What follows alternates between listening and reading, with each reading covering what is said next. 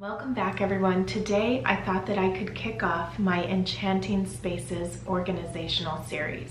This is going to take us into all of the different areas within my home and I'm just going to show you how things are and then also possibly, I should say, um, how I'm going to organize things. I think it's the perfect time of year to be reorganizing things, especially because we're all going to be cooped up in our homes and you know we're going to be doing a lot of cooking etc and so a lot of these spaces we're going to want to declutter. We're going to just want to have organized really well so that we know where everything is.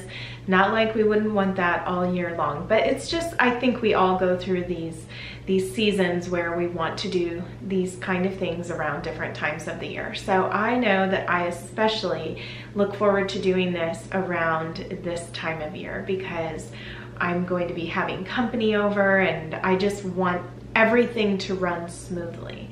So the best way for things to run smoothly is of course to have everything organized. I have something really special to share with you today. Denise from This and That with Denise Jordan is going to be interviewing me on her channel and I would appreciate it if you would come and help support me over there and help support Denise by doing this. Um, I am going to leave the link in my description box below and then I'm also going to post something on my community tab and this is going to be at 7.45 Eastern Standard Time so that is uh, 4.45 Pacific and I am just looking forward to doing this. This is going to be today so if you are interested in seeing you know her question me and and me answering all the different things that she has questions about, please head over there. I think that it will be very enjoyable for the audience as well as for myself. It's just, I love interacting with real people, so that is going to be a little bit different than me being on my channel, I feel, um, just recording myself. So that is always a fun dynamic and I look forward to that. I really hope that you will join me. Love organization. I would have to say that my most popular videos are about organization, especially the kids lunches video. And I think that one's almost at a million views. That's kind of crazy. But um, as you can see, I have different things in my office. I have a new desk here. My mom gifted me this right around my birthday. And um, this was actually shown to me by my friend Jessica. She sent me a picture from Facebook Marketplace and I think it was only $25 or something. You just can't beat that price. And I was pleasantly surprised because it has so much space on the top, whereas that cream one that I had gotten before was more of a child-sized desk, so it just made it a lot more difficult to have everything spread out on there that I wanted to, and also because of how low it was, it just made it a lot more difficult to sit at. Like I couldn't put my knee up under under myself or anything like that when I was working. Um, you know, just those little things make all the difference. So I'm so happy to have this new desk. Um, it's solid wood and it looks a, very worn. And right when I got it, I thought, I need to paint this right away. And I have the paint. I have the cream paint. I have the gold that I can put, you know, gild it and everything. But then I'm just sitting here with it. As Jessica always says, sit with it. And then I was talking to my mom about it and she said, sit with it. So I'm sitting with it because I really haven't made up my mind. So um, anyway, I have another new piece in here that I'm excited to share with you and it's the perfect piece to organize a lot of the things that I had that I wanted to tuck away. But then I also realized there are some things that I need to get to that like work related things that I want to have displayed so that it's pressing me to get it done. That way I'm not shoving it away and saying, okay, I'll get to it at a later date because I like for things to look nice and I like for things to be done. So sometimes having your work visible to you will help you in that regard if you're like me. So like I said, I have been doing a little bit of organizing already. I can't just turn the camera on and think that I'm going to figure everything out and take you along with me as I do that just because of the way that my brain works. I don't like to feel the pressure of being on camera to do such things. But I've done the majority. I have a couple of little doodads that I need to put away still. But now I want to freshen the space up. I have my Mrs. Meyer's apple cider scent. I need to go back to the store and get more of this because I can't believe how much I've already used of this in a short amount of time. But it just really inspires me to clean some more just to be able to smell this and it just makes me feel all the fall feelings. So um, I'm going to be cleaning off my desk with this. I'm going to clean off my new desk because I haven't even wiped that off yet. And then I'll take you around, give you a little bit of a tour as far as how I've organized this space.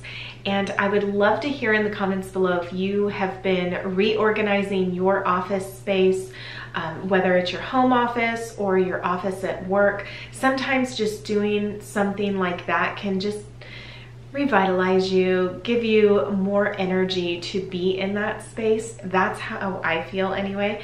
And then also you will notice that I don't have the drawers lined or anything like that. I'm not there yet. And I'm thinking of other things that I can do, not even just line them, but actually like do some really pretty things in there. And that is what enchanting spaces is all about. It's about making it very beautiful so that you would love whatever drawer you open or whatever space you are in because of the way that it is. It's, it just speaks to you. It may not be something that would be, you know, perfect to showcase to everybody or something like that, but it's perfect for you. So that is what I hope to inspire you to do is make whatever space that you have perfect for you and not like it has to be in a magazine or, you know, just something like that, but just beautiful to you. Beautify your space. That's what we're doing. Okay, so let's get to cleaning.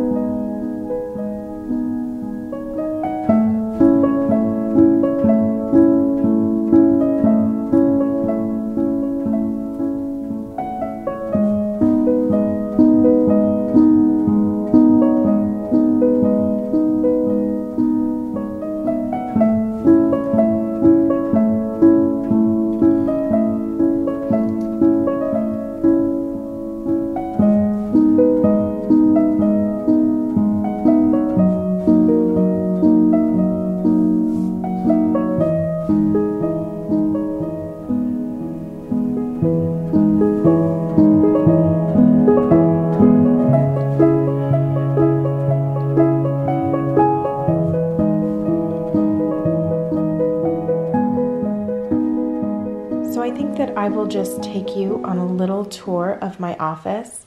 Something that's really important to me about this space is that everything is movable because I move things in here so often to suit my needs for the moment.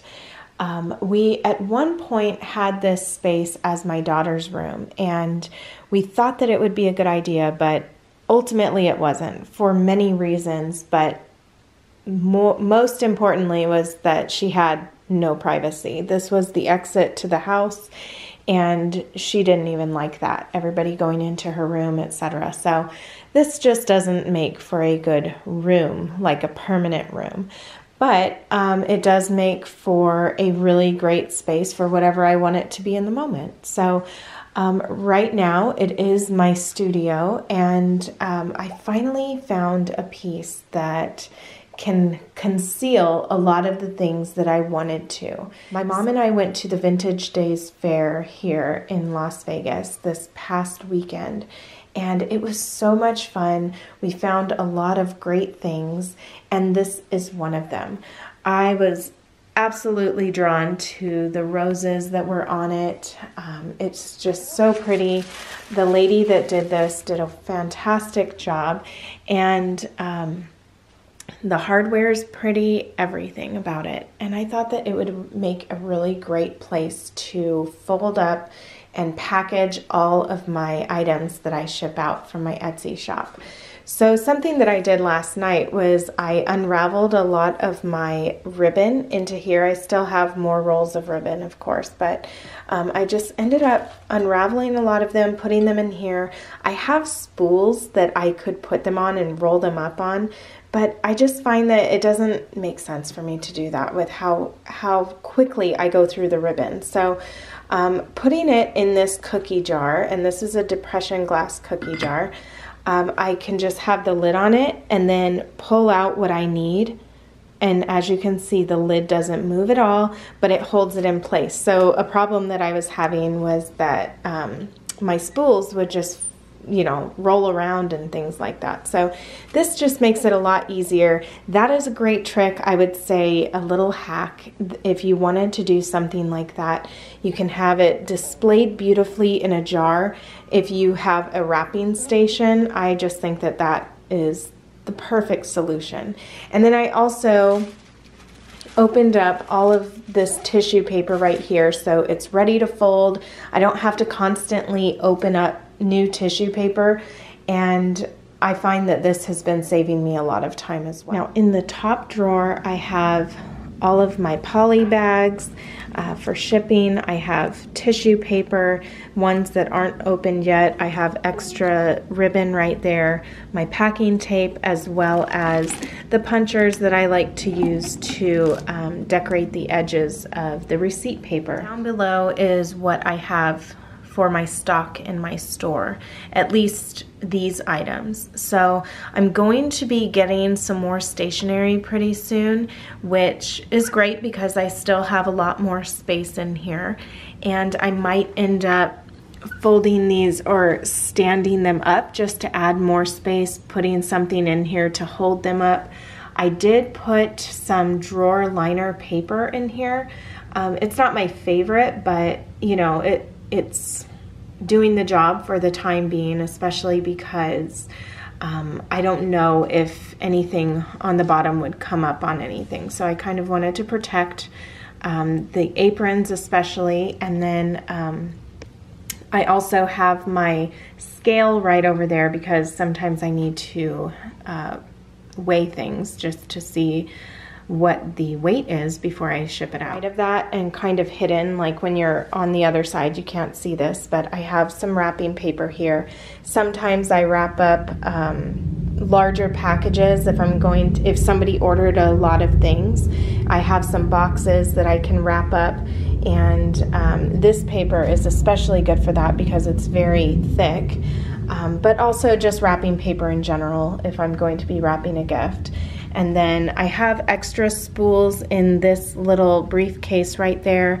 Um, and then I put some um, pine cones, some cinnamon scented pine cones right there because they just smell so good. And I've been enjoying that in the house this year. I have all of my stationery up here. So my thank you cards, as well as just stationery that I write for my pen pals, some blank um, watercolor cards so that I can paint if I wanted to. And then I also have cards that I send out with my orders and um, extra paper in the back, just little little paper that, you know, I like to wrap up any of my um, bookmarks or anything like that. I also put some up here as well, but I have bookmarks throughout, mostly um, just color coordinated and then that way I can find them quickly. And then in this drawer, I have a few things like my wax for wax seals.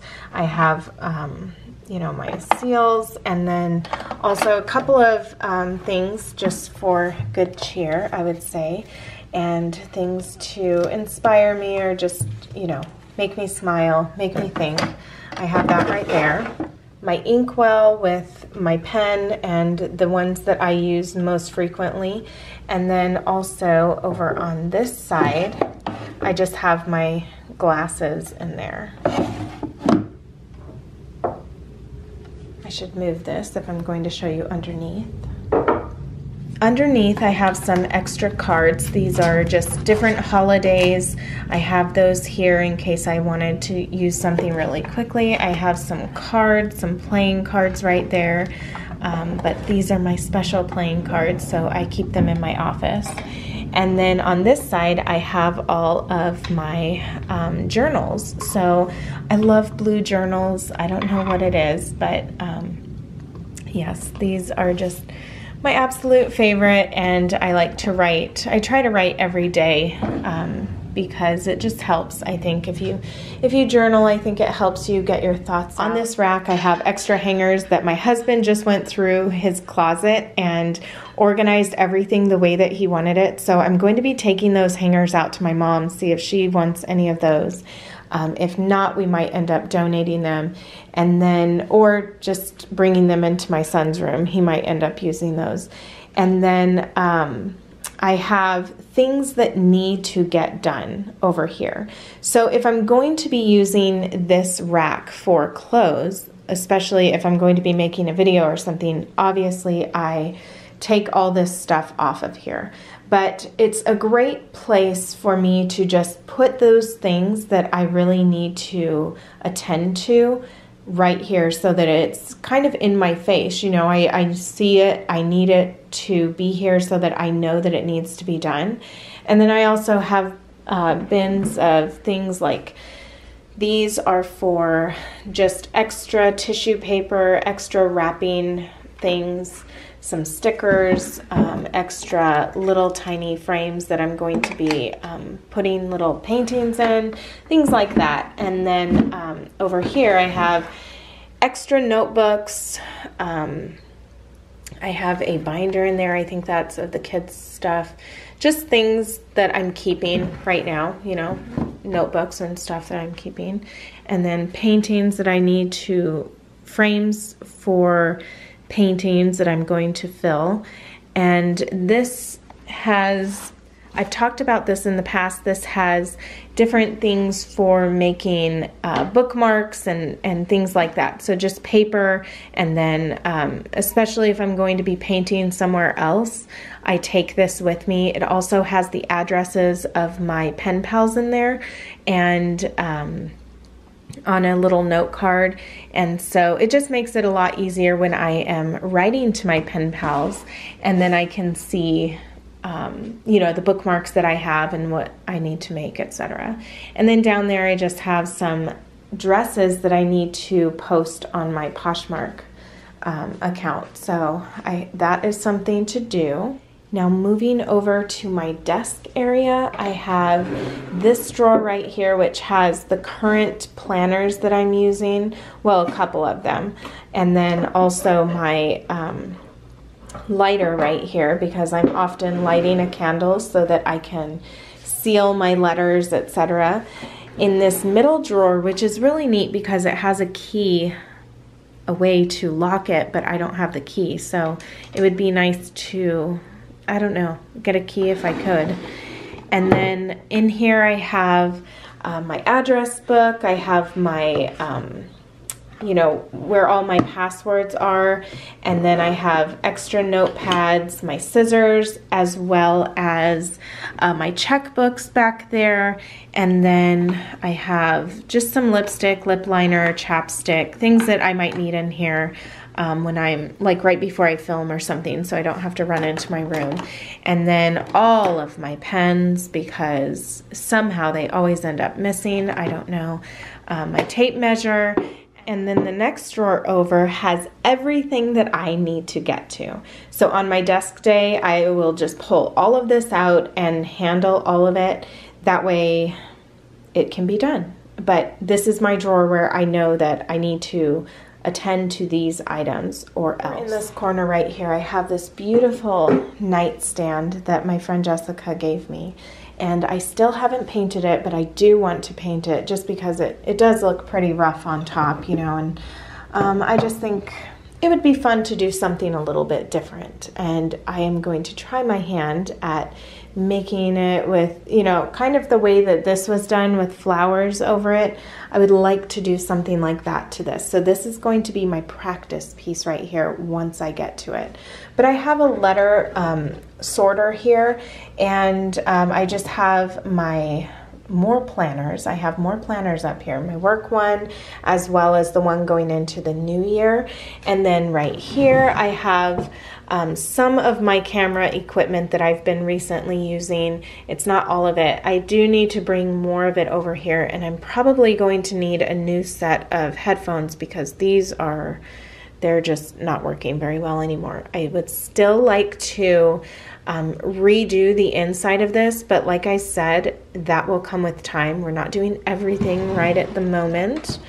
And then I have some storage space for some more projects, like that's the paint that I'm going to be using on this piece. And um, you know, that's just we we have things that we need to get to and um, all with time. So that is how I have everything organized in my office. That's how it's working for me at the moment. It's not the most beautiful layout that I've ever that I feel I've ever done or um, do I feel that everything flows well? No, not necessarily, but it works well for me. So I do try to bring in beautiful elements and you know all these pieces speak to me and they just bring me joy and they're very enchanting pieces to me um, but you know it's a continual work in progress and i'm still figuring things out i'm still um, deciding, you know, what I would like to have on the wall, for instance, or if I don't want anything at all. And so you see little areas where I've just, you know, I mean, my walls are full of holes. And my husband always likes to make fun of me about that. But, you know, it's just, it's something that I love to do. I hope that this inspired you in some way and that you can see that you can do all these different little things to your own space to make it more enchanting for you and just to make it a space that you would love to be in. It's not going to be picture perfect all the time and that's okay. And don't feel like you have to get things a certain way right away. I think that, I mean, we're just in a time where everybody wants everything right now and they want to see something done and, and uh, it can take time. And so enjoy that process, enjoy the time that it may take you to get things just right and just to enjoy your space all along the way. So don't forget about the interview over at This and That with Denise Jordan. I hope to see you over there. I know that there will be a live, I think it's a live, yeah, it's a live stream and you will be able to pose your questions or just, you know, chat in the comment section. And I look forward to seeing you over there. Thank you so much for being here with me today and I will see you in my next video. Bye everyone.